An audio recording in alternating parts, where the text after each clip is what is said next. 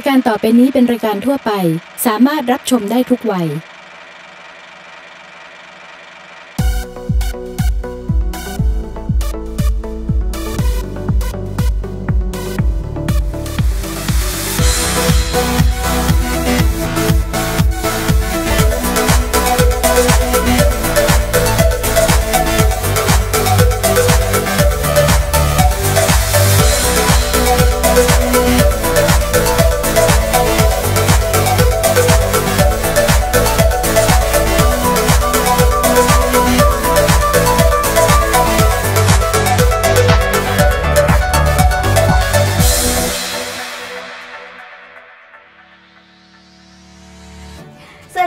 ยินดีต้อนรับกลับสู่รายการ English Social Life นะคะ ภาษาอังกฤษเพื่อชีวิตและสังคมค่ะ วันนี้นะคะเป็น EP 3 แล้วนะคะ เป็นยังไงบ้างคะสำหรับ EP ที่ 2 สนุกกันใช่ไหมในเรื่องของป้ายและก็สัญลักษณ์ต่างๆ วันนี้นะคะเราจะมาเรียนรู้การพูดประโยคสนทนาทางโทรศัพท์กันค่ะ เพื่อในการขอข้อมูลและการให้ข้อมูลทางด้านอาชีพด้วยนะคะ เหมือนเดิมเลยค่ะ ก่อนที่เราจะเข้าสู่เนื้อหานะคะ เราจะต้องไปทำแบบทดสอบก่อนเรียนกันก่อน่อนค่ะ และติวเตอร์นะคะจะมาเฉลยตอนท้ายเหมือนเดิม เพราะฉะนั้นอย่าเพิ่งหนีไปไหนนะ อยู่เป็นเพื่อนกันก่อน รับรองว่า EP นี้ความรู้อัดแน่นและสนุกมากๆเลยค่ะ แต่ว่าสำหรับตอนนี้นะคะ นักเรียนจะต้องเลือกคำตอบที่ถูกต้องให้ติวเตอร์ก่อนค่ะ ไปเริ่มเลยค่ะการเรียนของเรานะคะจะเริ่มจากการทำแบบทดสอบก่อนเรียนค่ะ เพื่อที่เรานะคะจะได้เช็คความรู้ของเราในตอนท้าย EP ซึ่งติวเตอร์นะคะก็จะเฉลยคำตอบที่ถูกต้องในตอนนั้นค่ะ นักเรียนนะคะสามารถเลือกคำตอบที่ถูกต้องในแต่ละข้อแล้วก็จดไว้นะคะ เอาละค่ะ เรามาเริ่มต้นที่คำถามข้อที่หนึ่งกันเลยค่ะ ข้อที่หนึ่ง John พูดว่า hello Josh พูดว่า hello is Steve there John ตอบนะคะ I'm sorry Josh ตอบว่า okay thanks I will call him back later ส่วนคำตอบนะคะ ข้อ A just a moment please B hold on a minute C he's not here right now D I don't know him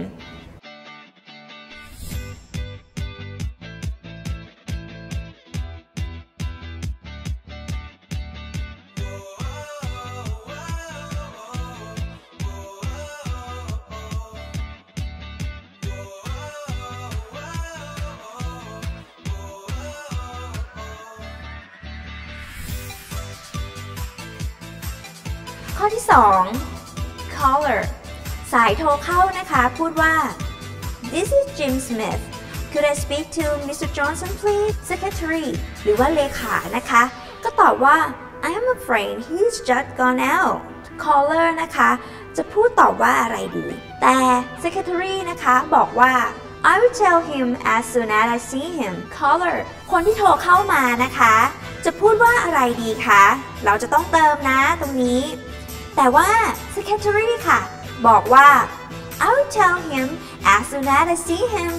A Can you hold on B Can you call me later C Could you ask him to return my call หรือ D Could I return his call later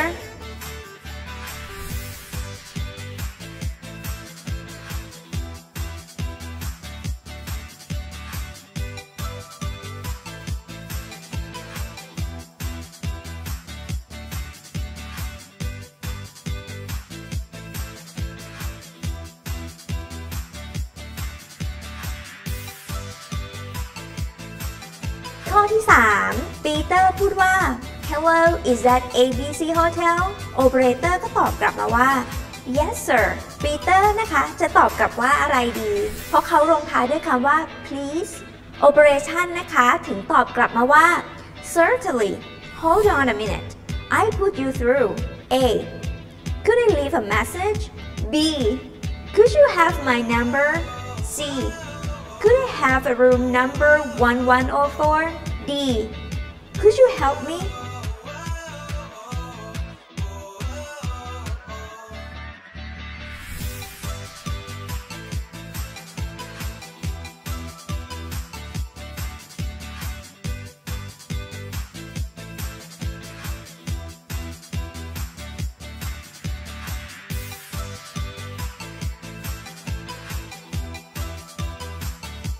ต่อไปนะคะ ที่ 4 และข้อที่ 5 ค่ะ A พูดว่า Good morning I'd like to ask about the job และคิดว่า A จะถามต่อว่าอะไรคะ B นะคะถึงตอบว่า secretary ตัวเลือกข้อ 4 มีตามนี้ค่ะ A What will I do B What can I do for you sir C What position do you require D What kind of work do you prefer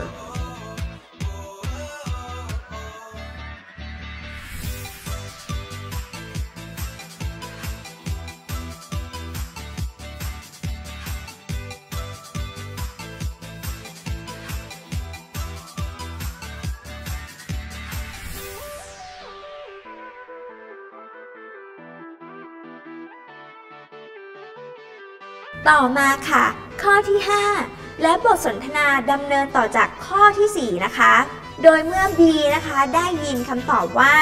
secretary หรือเลขานุการแล้วนะคะ A จะถามตอบว่าอะไรดีคะ B นะคะถึงให้ข้อมูลว่า good command of written and spoken English A นะคะ ตอบเลยค่ะว่าโอเค thank you และ B นะคะก็ตอบกลับว่า you're welcome ตัวเลือกนะคะมีดังนี้ค่ะ A What are you doing B What is the qualification for this job C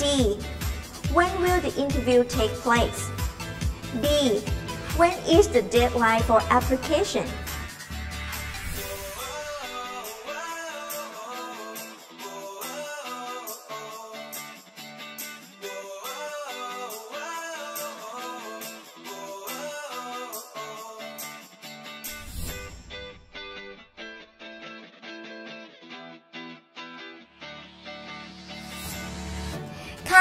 ที่บอกไปตอนต้นนะคะว่าวันนี้นะคะ เราจะมาเรียนรู้ภาษาที่เหมาะสมในการพูดโต้ตอบทางโทรศัพท์กันค่ะ ซึ่งในภาษาอังกฤษนะคะก็จะมีประโยคหรือว่าสำนวนสั้นๆ ที่จะเอาไว้ใช้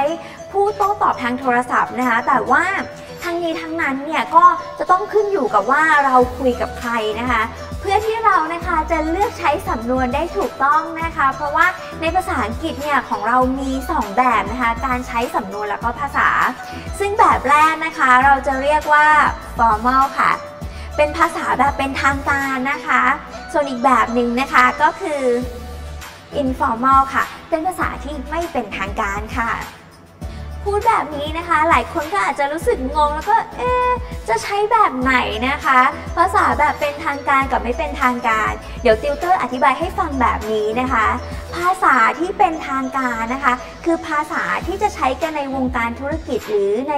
วิชาชีพนะคะ ตัวอย่างเช่น พนักงานโรงแรม พนักงานขาย พนักงานขับรถ นะคะ หรือพนักงานต้อนรับอะไรก็แล้วแต่ที่จะต้องพบปะผู้คนแล้วก็มีลูกค้านะคะ เพราะว่าการใช้ภาษาอย่างเป็นทางการเนี่ยจะแสดงถึงความเป็นมืออาชีพในสายงานนั้นๆ ค่ะค่าส่วนภาษาแบบไม่เป็นทางการนะคะ ก็จะไม่ใช้ในเชิงธุรกิจเลย เพราะว่าเราจะใช้กับคนที่เราคุ้นเคยมากๆ อย่างเช่นเพื่อนหรือคนในครอบครัวนะคะ แสดงถึงความสนิทสนมค่ะ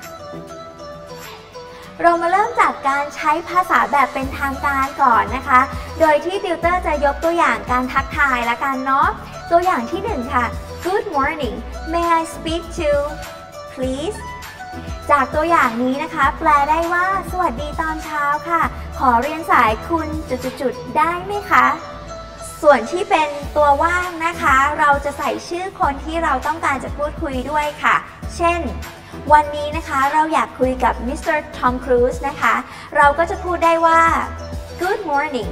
may I speak to Mr. Cruise please จะเห็นว่าติวเตอร์นะคะ เลือกใช้คำว่า Cruz มากกว่าทอมนะคะ เพราะว่า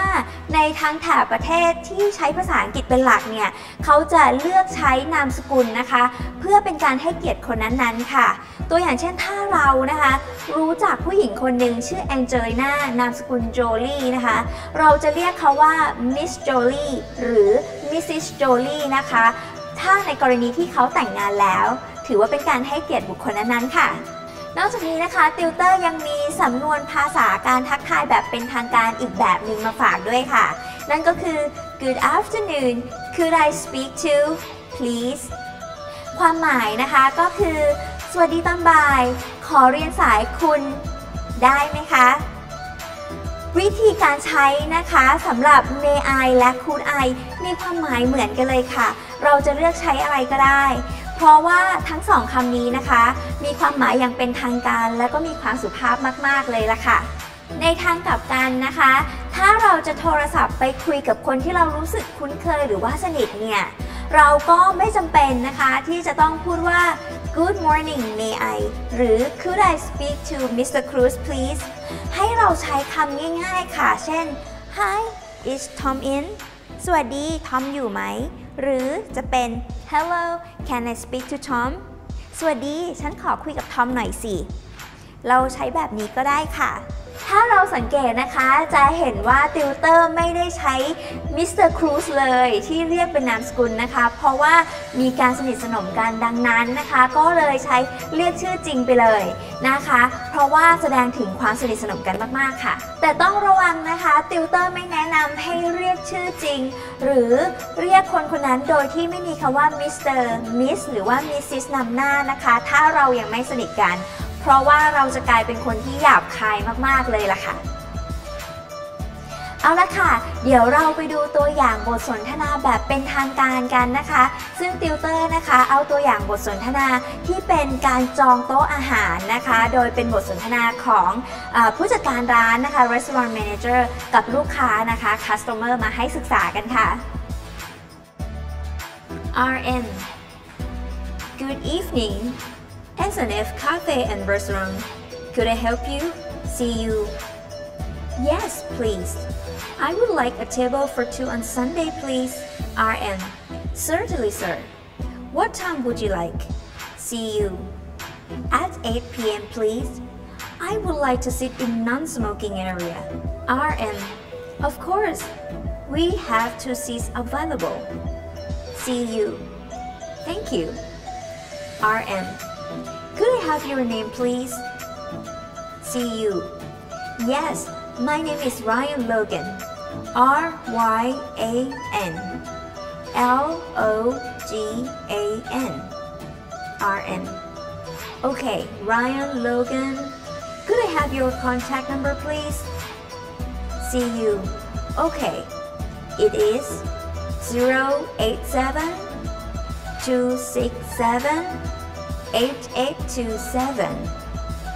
RM. Let me repeat your number 087 627 8827. See you, that's right. RM, thank you. We look forward to seeing you on Sunday. เรามาดูคำแปลไปพร้อมๆกันค่ะ Good evening. SNF Cafe and Restaurant. Could I help you? ผู้จัดการร้านรับสายโดยพูดว่า สวัสดีค่ะ S&F Cafe และ Restaurant ให้ดิฉันช่วยอะไรดีคะ สังเกตว่าผู้จัดการร้านเลือกใช้คำว่า could I นะคะ ต่อมาลูกค้าตอบว่า yes please I would like a table for two on Sunday please ครับผม ผมต้องการโต๊ะสำหรับสองคนในวันอาทิตย์นี้ครับ ทนที่ลูกค้านะคะ จะใช้คำว่า want ที่แปลว่าต้องการ แต่ใช้คำว่า would like ซึ่งแปลว่าต้องการเหมือนกัน แต่ว่าสุภาพมากกว่าค่ะ และผู้จัดการนะคะก็ตอบรับว่า certainly sir what time would you like ได้เลยค่ะท่าน ต้องการจองกี่โมงคะ ค่ะ ก็จะเห็นนะคะว่าผู้จัดการร้านเนี่ยเลือกใช้คำที่สุภาพมากๆเลยนะคะ นั่นก็คือคำว่า sir ค่ะ เป็นคำที่ใช้เรียกลูกค้าผู้ชายนะคะสำหรับลูกค้าผู้หญิงเนี่ยจะเรียกว่ามาดามค่ะ ต่อมานะคะ ลูกค้าก็แจ้งเวลาค่ะ แล้วก็มีเงื่อนไขเพิ่มเติมเข้ามาด้วยค่ะ At 8 p.m. please I would like to sit in non-smoking area จองเวลาสองทุ่มครับ ผมต้องการที่นั่งในเขตปลอดบุหรี่นะครับ แน่นอนค่ะ เรามีที่ว่างสองที่ ผู้จัดการร้านนะคะ ตอบโดยเลือกใช้คำว่า available ค่ะ แทนคำว่า free ที่แปลว่าว่าง เพื่อความเป็นทางการค่ะ thank you ขอบคุณครับ อันนี้ลูกค้าตอบกลับมานะคะ จากนั้นผู้จัดการก็ขอรายละเอียดจากลูกค้า could I have your name please ขอชื่อของคุณหน่อยได้ไหมคะ Yes my name is Ryan Logan R Y A N L O G A N ได้ครับ ชื่อของผมคือ Ryan Logan สะกดด้วย R Y A N L O G A N ลูกค้าตอบแล้วก็สะกดชื่อให้ด้วยนะคะ Okay Ryan Logan could I have your contact number please ชื่อ Ryan Logan ขอเบอร์ติดต่อคุณหน่อยได้ไหมคะ จะเห็นชัดเจนเลยนะคะว่าผู้จัดการร้านเนี่ย เลือกใช้คำว่า could I นะคะ ซึ่งเป็นคำที่ใช้ในการขอร้องอะไรบางอย่างค่ะ Okay it is 087 267 8827 แล้วลูกค้านะคะก็ตอบด้วยเบอร์ติดต่อไปค่ะ ผู้จัดการร้านก็ทวนเบอร์อีกหนึ่งรอบค่ะ Let me repeat your number 087 627 8827 That's right ถูกต้องครับ ลูกค้ายืนยันหมายเลขนะคะ Thank you we look forward to seeing you on Sunday ขอบคุณค่ะ เราจะรอต้อนรับคุณในวันอาทิตย์นี้นะคะ เอาละค่ะ มาถึงโมเมนต์ของความเป็นจริงนะคะ เราจะต้องเฉลยนะคะ แบบทดสอบนะคะ ก่อนเรียนที่เราทำกันไปตอนต้น EP ค่ะ เดี๋ยวเรามาเริ่มกันเลยจากข้อที่ 1 ค่ะจงเลือกคำตอบที่ถูกต้องที่สุดเพียงข้อเดียว ข้อที่ 1 John พูดว่า hello Josh พูดว่า hello is Steve there John ตอบนะคะ I'm sorry Josh ตอบว่า okay thanks I will call him back later ส่วนคำตอบนะคะ ข้อ A just a moment please B hold on a minute C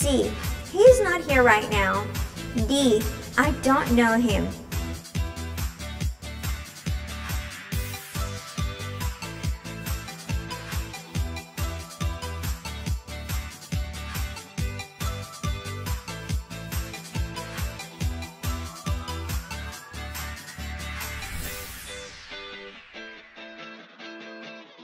เพราะฉะนั้นนะคะคำตอบที่ถูกต้องที่สุดค่ะ ก็คือข้อ C ค่ะ เราสามารถดู keyword หรือคำสำคัญนะคะ ได้จากคำตอบของจอร์จค่ะ ที่บอกว่าจะโทรกลับมาใหม่ นั่นแสดงว่าจอห์นต้องตอบว่าสตีฟไม่อยู่ที่นั่นนั่นเองค่ะ ข้อที่ 2 caller สายโทรเข้านะคะ พูดว่า This is Jim Smith Could I speak to Mr. Johnson please secretary หรือว่าเลขานะคะ ก็ตอบว่า I am afraid he's just gone out caller นะคะ จะพูดตอบว่าอะไรดี แต่ secretary นะคะบอกว่า I will tell him as soon as I see him caller คนที่โทรเข้ามานะคะ จะพูดว่าอะไรดีคะ เราจะต้องเติมนะตรงนี้ แต่ว่า secretary ค่ะ บอกว่า I will tell him as soon as I see him A Can I hold on? B Can you call me later? C Could you ask him to return my call? หรือ D Could I return his call later?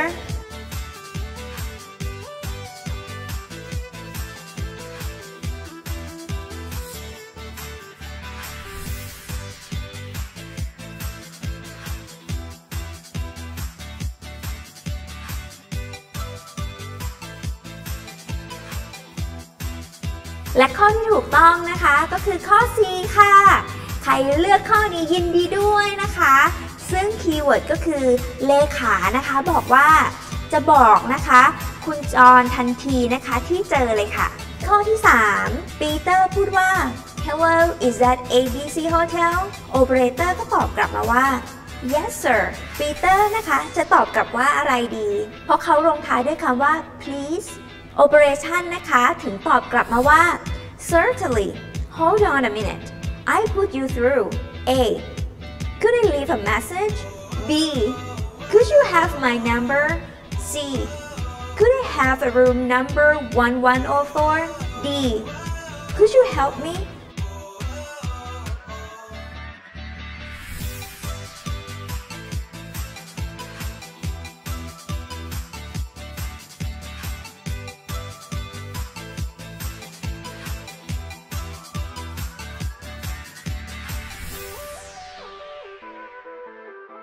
ตอบที่ถูกต้องนะคะ ก็คือข้อ C อีกแล้วค่ะ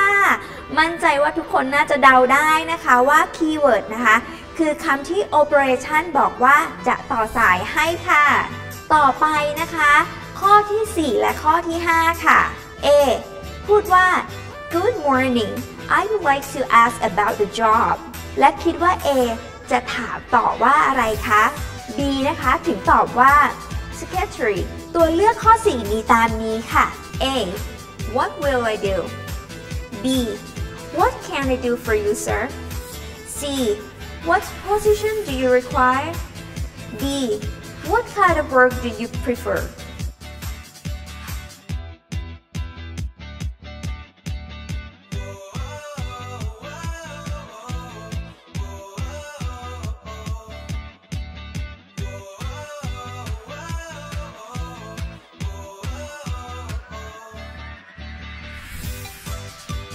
เฉลยข้อที่ 4 ข้อ C ค่ะ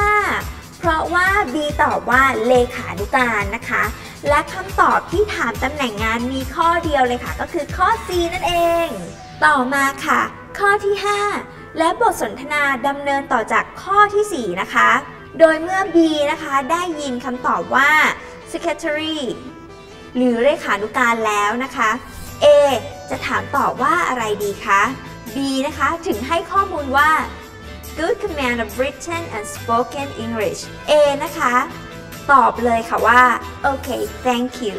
และ B นะคะก็ตอบกลับว่า you're welcome ตัวเลือกนะคะมีดังนี้ค่ะ A what are you doing B what is the qualification for this job C when will the interview take place D when is the deadline for application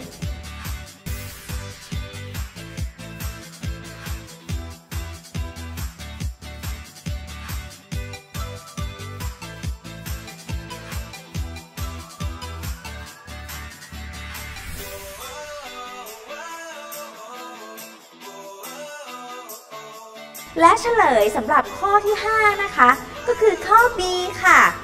ถามเรื่องคุณสมบัติของตำแหน่งงานนะคะ ฝ่าย B นะคะถึงบอกว่าต้องใช้ภาษาอังกฤษได้ดีนะคะ ทั้งอ่านแล้วก็เขียนเลยค่ะ